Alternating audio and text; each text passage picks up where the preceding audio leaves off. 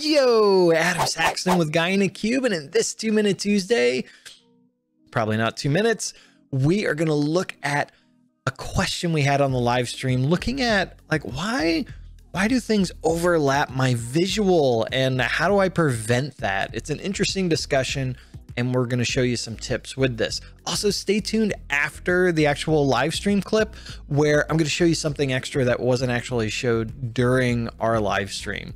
All right, enough all this talking. Let's take a look at the clip. Got uh, Akil. Um, so I actually, uh, so he said how to prevent objects overlap on visuals. Um, there's a couple of different aspects with this, and I'm actually going to cut over to my machine to show some stuff. So the problem, and, and Akil, I don't know if this is exactly your problem, but I'm going to make an assumption. So let me highlight it with this. So if I've got uh, a little slicer panel here that I used with some buttons and uh, overlays and bookmarks, if I click on this back option, it kind of brings it up to the top, right? And that's annoying. I don't want that. So the trick that I was showed, let's see if it actually does. I don't, it was, it was a couple months ago. I don't remember all the details, but I think this is it. I'm going to try it. So the other thing too, is like, if I click here, like it doesn't like, or if I click outside of the area, like I, I want the slicer panel to kind of go away. So there's a couple of things we can do here. So first off is I'm going to add a blank button. You're going to like this, Patrick. And I'm going to overlay it on top of the slicer panel. Just going to take this to the next level. So uh, with my button selected, you'll notice here it's on it's up on the top of the selection pane. So that's the Z order, like where is it in terms of the canvas? What I want to do is move it right above the background shape of the um, of the the slicer panel. Uh, so that way it's, you know, I can still select my, uh, my, my individual items inside. Um, so if I do this, you know, I can still interact with my slicer. That's cool. And then what I want to do, the other thing you'll notice is when I'm in here now, if I select the button, it doesn't, it's not like going, it's not bringing that background thing on top of everything, right? So it, it there's kind of an illusion there. Uh, so that's good. Uh, the other thing I'm going to do on this button, I'm going to get rid of the outline. Then I'm going to add another blank button. Uh, blank. And I'm going to make it across the entire report canvas. I'm going to do the same thing. I'm going to get rid of the outline. I'm going to bring it below the background shape of the slicer panel. And then on this one, I'm going to change the action to bookmark. And I'm going to change it to uh, no slicer so I've got a couple of uh, bookmarks here. So I've got one where the slicer panel is closed, and then I've got another one where it's open. So I'm going to change it to no slicer. So now, if the slicer panel is open, and I just click here, I got to do, I'm in desktop, so I have to do control click. It just goes away, right? And I can click back on, oh. All right. So now with it out, I need to do this and update the bookmark. And then we're going to update and say no slicer.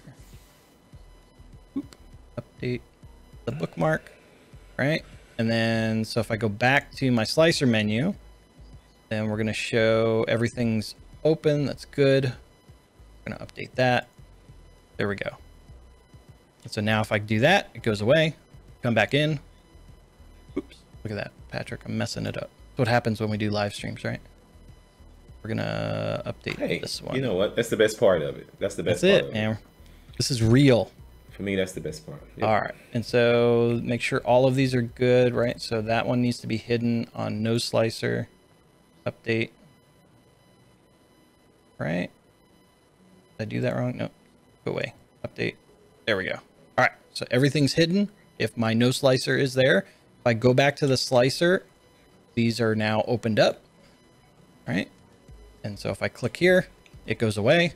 And then if I click back on the thing, it comes back. If I select here, it's not bringing the, the background image up. And then I can still use my, so it technically does come to the top because it's selected.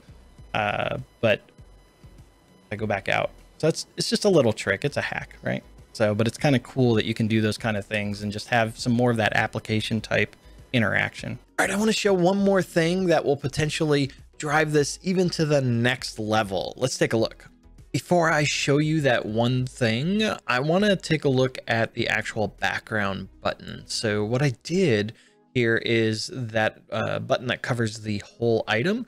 I changed that to a fill background. We look at the fill. Uh, it's just black and then 70% on the transparency piece. So that just gives some added separation to the actual report versus the slicer panel. So it's a nice little visual touch. Okay, so what I want to do to take this to the next level is just go ahead and select all of the items. Okay, and then what we're going to do is right click, group, and then group these items together. Rename it slicer panel, and then go and update our bookmarks again. Then we'll hide it and then update the no slicer. And if we go back to slicer menu, so one thing to note, like it's it's hidden again. So if you have a bunch of bookmarks, updating all these items can be a bit of a pain. So just be aware of that. Just make sure you validate all of those steps. I'm going to unhide it again, update the bookmark. And then if I go back and forth between the two, it should be good. And so if, now if we click, everything's there. And if I click on the background, it goes away. Same if I do click on that button, everything's great. It's more like this app feel.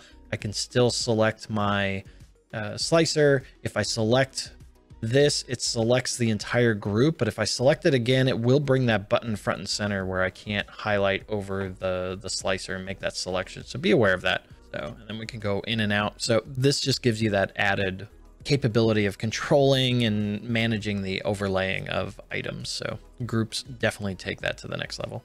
Hopefully that helps you get past the frustration and just get your reports rocking as you expect them to be.